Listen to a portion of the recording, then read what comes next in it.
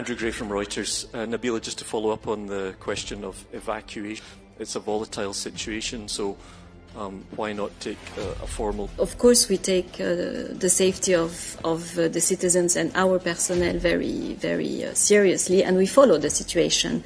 Um, what I've, i said is that for the moment, at this stage, we are making a decision that the people to form not to formally evacuate, but of course, uh, our team uh, present in Niamey has the possibility to leave the country. Uh, and of course, we are following the situation. This means that the decision will be uh, kept constantly under review.